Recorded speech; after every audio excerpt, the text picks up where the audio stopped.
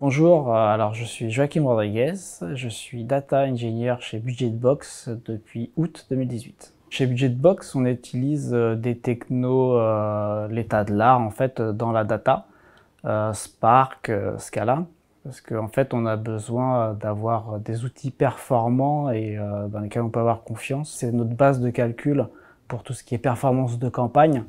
Donc euh, on s'est plutôt très tôt orienté vers euh, des technos vraiment état de l'art euh, dans le monde de Big Data. Les challenges chez Budgetbox, ça serait un gros projet de migration de la plateforme. Donc c'est un projet qui est en ce moment à l'étude et qui, bah, va être très challengeant dans la mesure où en fait c'est une refonte, une migration de tous nos calculs. On a aussi au quotidien bah, le, maintien de la plateforme. Euh, le maintien des calculs, euh, des traitements qui, euh, qui se déroulent tous les jours.